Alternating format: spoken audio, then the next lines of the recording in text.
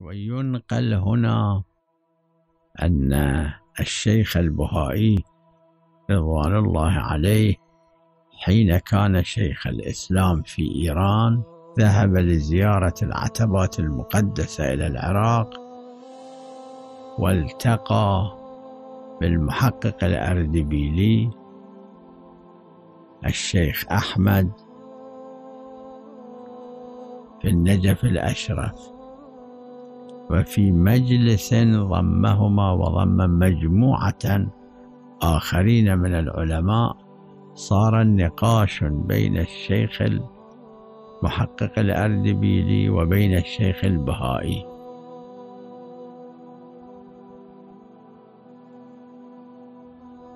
وفي النقاش بالنتيجة سكت المحقق الأردبيلي وبدأ للناس للحاضرين أن الحق مع الشيخ البهائي. وانتصر الشيخ البهائي ظاهرا في هذا النقاش.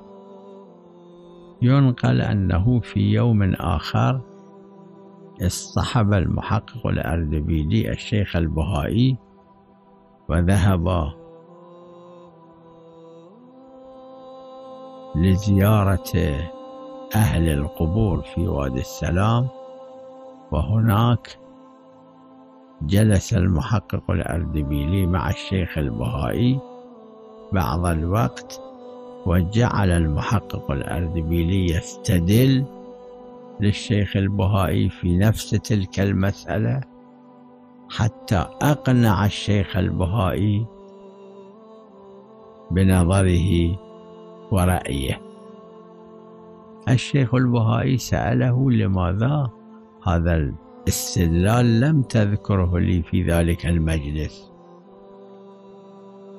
هذا من درجات الورع.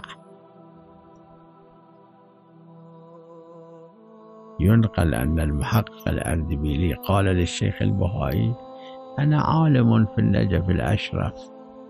لست معروفا كثيرا للناس ولكن أنت باعتبارك شيخ الإسلام عالم معروف. فإذا كنت أنا في ذلك المجلس العام أذكر هذا الدليل وأكون أنا قد انتصرت في هذا النقاش. ربما يكون ذلك فيه احتمال إهانة لك.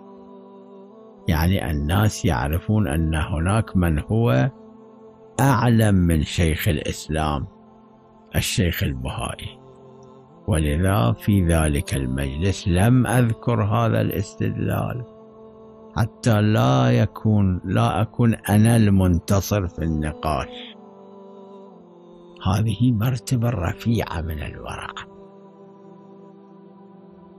أن يجتنب الإنسان ما يحتمل أن يكون مبغوضا لله سبحانه وتعالى وإن كان هذا الاحتمال مو منجزا إن كان واقعا. يعني إن كان واقعا هذا مبغوضا هذا الاحتمال ليس منجزا على المكلف.